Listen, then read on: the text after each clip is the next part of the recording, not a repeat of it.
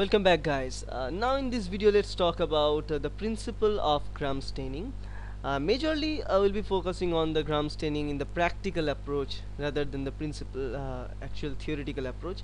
But uh, the foundation of gram staining is based on basically the structural variance of the type of bacteria we're dealing with because uh, gram staining is something that you can't ignore if you're a microbiologist because in any sense if you need to get a bacteria the first thing for the classification of the bacteria and putting it into a particular group the first thing you should do is just put it on gram stain.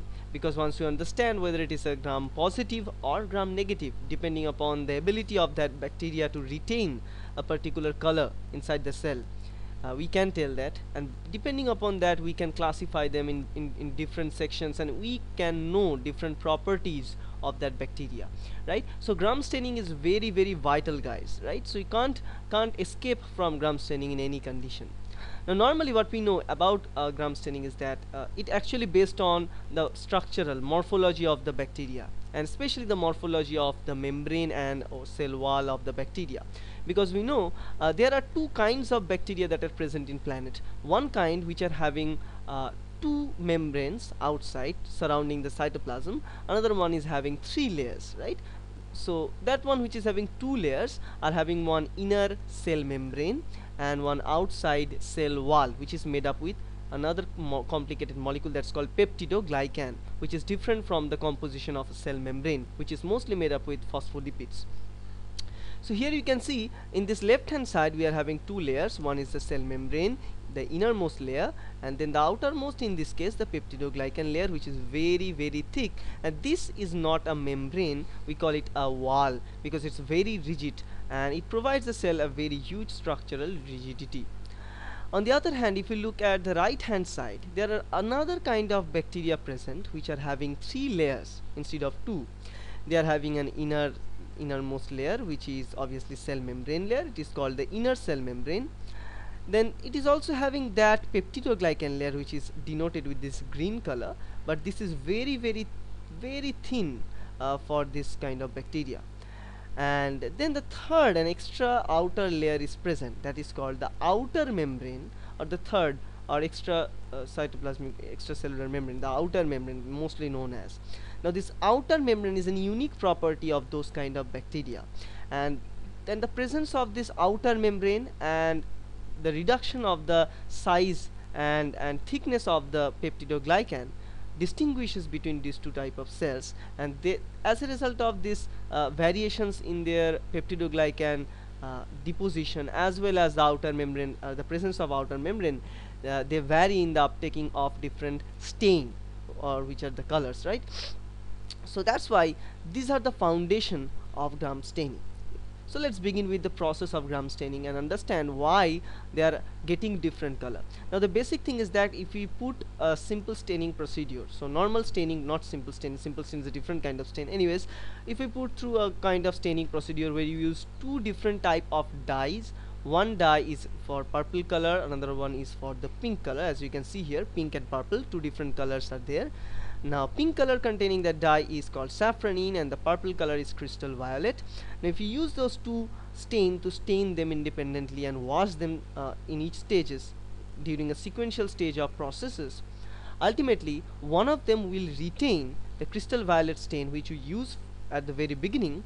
Another one of them will not retain that. It will get the color of the next stain that we add which is the safranin because remember the whole procedure we are using the stains in a gap or the durations. At the very first stage what we do we uh, we just take up the bacteria we make a smear in, into our slides we just place it and heat fix it a little bit. After that we add the first stain which is crystal violet and we stay it for one minute. So once we're done with this so say let's do this different type of bacteria we are handling here this two type of bacteria we flood it with crystal violet stay and let it uh, stay for one minute. After that the second stage what we need to do we need to put some iodine solution in. Now what this iodine solution are doing here iodine solution is acting uh, it, it's, it's, it's very important in this case because this iodine can form complex with crystal violet and that form crystal violet iodine complex. And this complex is very important because uh, so so we add this and it remains in the purple color everything is fine. After that we wash this. We wash this with with alcohol right? So we decolorize it. Why we add alcohol? Because alcohol here is very important. Because what we want to prove here we want to put some staining procedure which will be varied for these two different types of cell. Because remember crystal violet and iodine complex are pretty larger now. Because iodine normally crystal violet was slightly which can escape the cell. But now due to the presence of iodine and crystal violet complex it's become too much larger to be escaped from cell membrane just easily. Now what we're having here once we put alcohol in this place what alcohol does actually alcohol destabilizes the cell membrane the outer membrane here so that's what the very important thing is. So it will destabilize the outer membrane. Now this outer membrane phospholipids are destabilized in alcohol and they are kind of dissolved in the alcohol. So those type of bacteria we, which we are seeing in the right hand side now due to the addition of decolorizing agent or alcohol about 20 seconds they lose their outer membrane. And not only that but as they are having very thin very tiny and thin peptidoglycan layer the pore size of the peptidoglycan layer is also slightly increased. So as a result of that once we add this decolorizing agent what it does actually it just rub up all this outer membrane and also create larger pore in the peptidoglycan layer.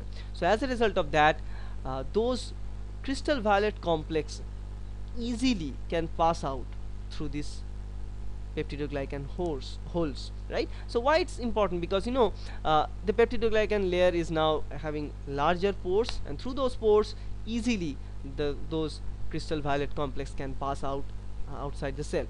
So what happens now after this stage for both of them? Because in the left hand side what we know that they are having a very thick peptidoglycan as a rigid wall. So in this case uh, alcohol does not have any effect because there is no other destabilizing content present there because it's not having any outer membrane. So everything is fine because alcohol cannot destabilize cell wall or peptidoglycan. So peptidoglycan remains as it is right?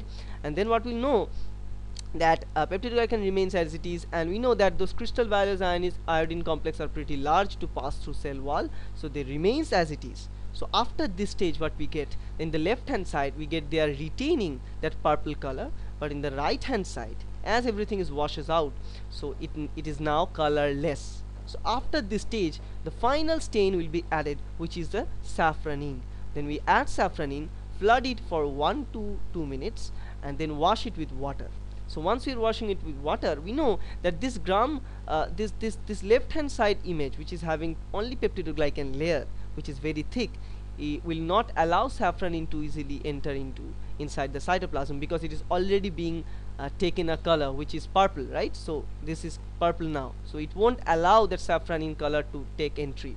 But on the other hand in the left in the right hand side the, those cases which just decolorized due to the uh, addition of alcohol now we'll get the color of safranin because it's also having holes in uh, in those peptidoglycan thin layer. So it will uptake that uh, color uh, uptake that stain safranin and it will be colored that pink. So at the end we get two different type of colored bacteria. One is this pink color as you can see in this picture and this purple color which we see in this grape like structure right? Now looking at this we can tell that those bacteria which are having the extra layer onto the outside as outer membrane which loses the color due to the addition of alcohol and get the color of safranin and ultimately give us the pink color bacteria are termed as gram negative of, type of bacteria. On the other hand those type of bacteria which are not having any outer membrane having a very thick peptidoglycan wall and retain the color of uh, crystal violet throughout the time irrespective of the treatment of decolorizing agent that remains that purple color and we call it gram positive bacteria. Now as this process is developed by uh, the scientist according to his name it's termed as gram stain. So it's not gram kilogram hectogram decagram all those things. It's it's it's the name of a scientist. So always put capital G in this gram spelling. Okay. So that's the principle of gram staining and that's how it's done guys. Thank you